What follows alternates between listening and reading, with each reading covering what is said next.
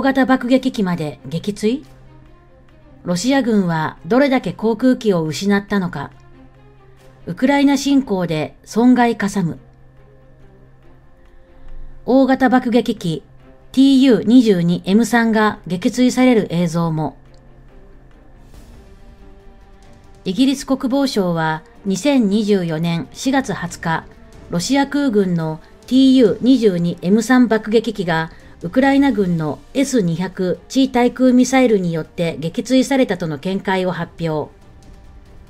ロシア軍はウクライナへの全面侵攻を開始した2022年2月から現在までに少なくとも100機の固定翼航空機を喪失した可能性が高いとの分析を明らかにしました。TU-22M3 は、ロシア空軍が運用する大型爆撃機で、可変翼構造が特徴。核兵器や極超音速ミサイル、キンジャールの搭載も可能です。日本では、NATO 北大西洋条約機構が付与したコードネーム、バックファイアの愛称でも知られています。ウクライナ国防省は4月19日、TU-22M3 の撃墜に初めて成功したと発表。国防省傘下の情報総局と協力し、地対空ミサイルによって撃墜したことを明らかにしています。ウクライナ軍の地対空ミサイルが大型爆撃機を撃墜するのは初のケースで、ロシア南部に位置するスタブロポリ地方で墜落した模様です。SNS 上では同機が空中で制御を失い墜落する映像が拡散されました。ロシア国防省は TU-22M3 が墜落して乗員の捜索、救助活動を実施したことは認めたものの、原因は機体の技術的な不具合であり、ウクライナ軍による撃墜ではないとしています。イギリス国防省によると、撃墜された TU-22M3 は、4月19日にウクライナ南部を目標とした攻撃を行っていたそう。攻撃には1960年代に旧ソ連が開発した S200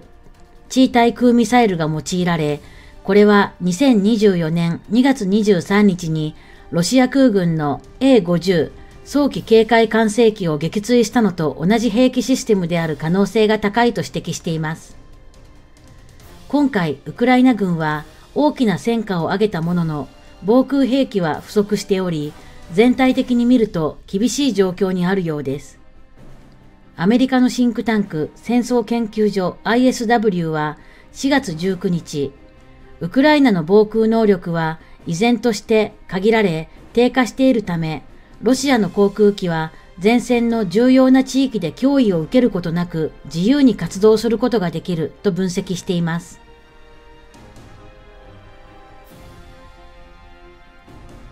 ウクライナ軍東部であわや防御線崩壊。最強旅団交代の好き疲れる。第47独立機械化旅団はウクライナ軍屈指の旅団である。米国製の装甲車両を配備され、北大西洋条約機構式の訓練を受けたこの旅団は、最も優れた NATO 部隊のように、迅速に激しくしばしば夜間に戦闘を行う。ただ、こうした高い能力は、第47旅団の2000人規模の将兵にとって恵みであると同時に呪いでもある。ウクライナ軍の司令部はそれを頼みとして最も激しい戦闘が行われる場所に第47旅団を配置したがるからだ。第47旅団はウクライナ軍が2023年6月に始めた反転攻勢で南部の主力部隊に抜擢された。その後、同年10月、ロシア軍がウクライナ東部の都市アウジーウカに攻勢をかけ始めると、第47旅団は南部から東部に転用され、ウクライナ軍の防御拠点だった同市を増強した。結果、アウジーウカからの守備隊の撤退を防ぐことはできなかったものの、それを遅らせることに寄与した。つまり、第47旅団は1年近くにわたって休まずに戦い続けている。兵士らは疲弊し、保有する最も優れた装備である米国製 M2 ブラッドレー歩兵戦闘車と M1 エイブラムス戦車も不足してきている。第47旅団は休息を必要としている。そして今週、やっとその機会を得られそうだった。しかし、第47旅団の交代計画は、アウジーウカ方面のロシア野戦軍に付け入る隙を与えた。それは、ロシア軍が2022年後半、ウクライナ東部の大都市ハルキウ方面で喫したような大敗北をウクライナ軍に与えられるほどのチャンスだった。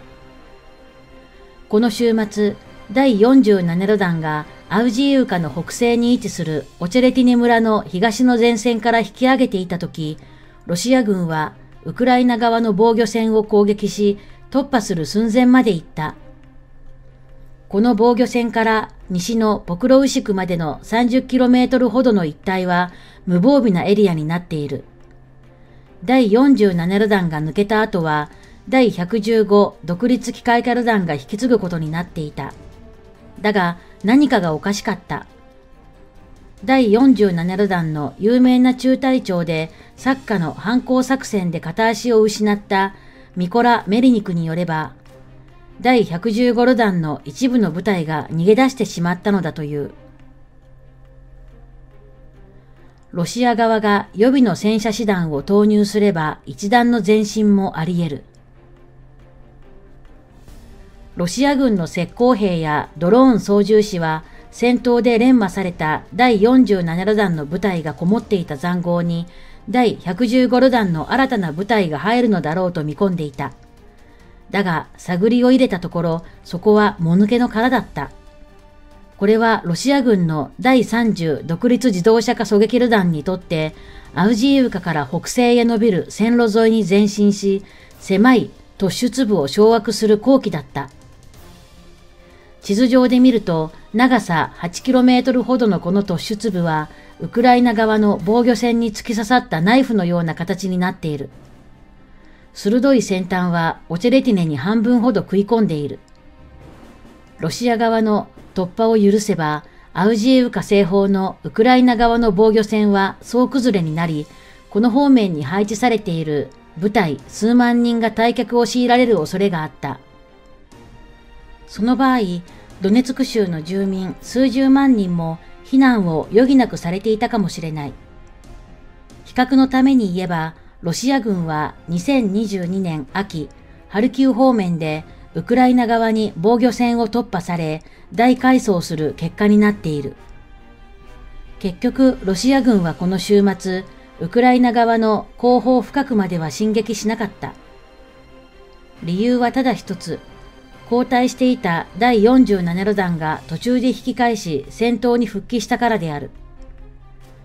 第47機械キャラ団は仕事に戻ったとメリニクはソーシャルメディアで報告している。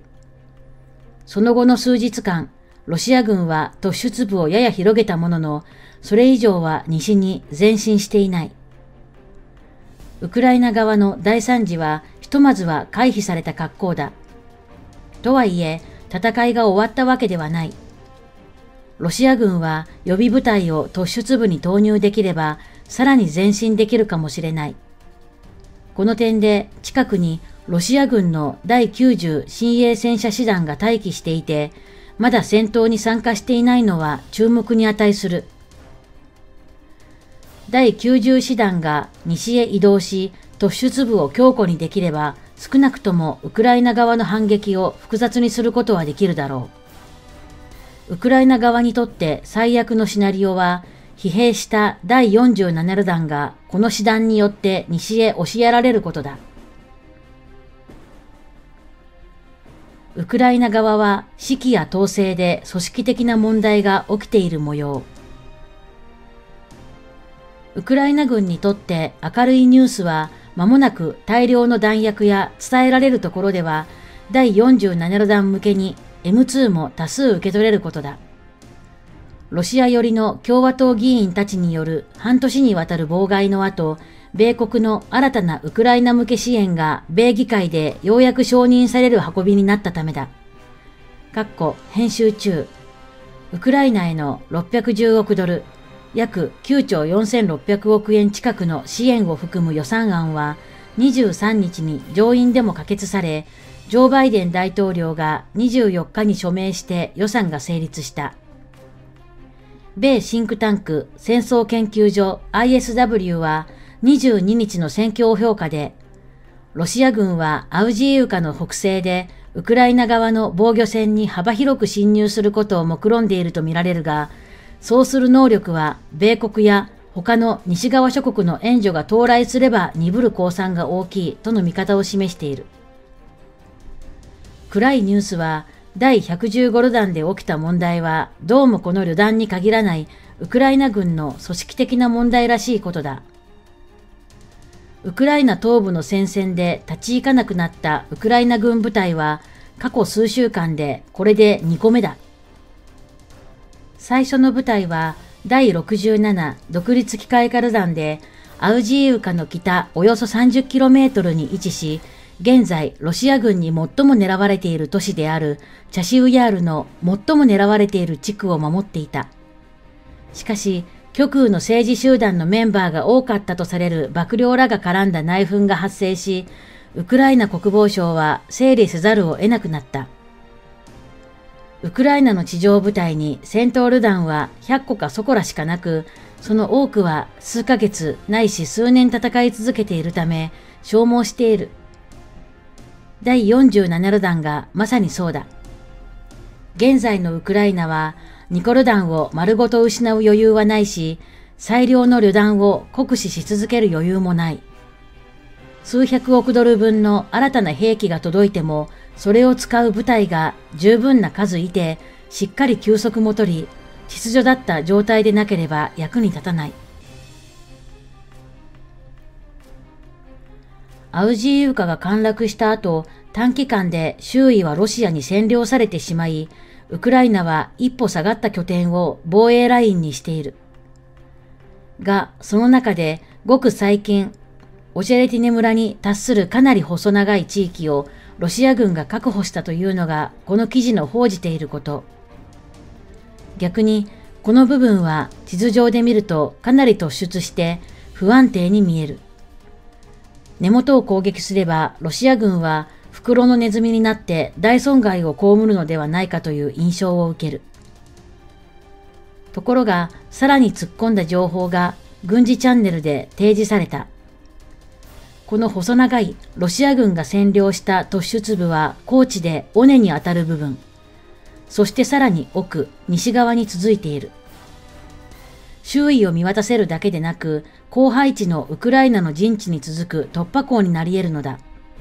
そのため、今の防衛ラインが突破される恐れが出てきたというこの記事の結論につながる。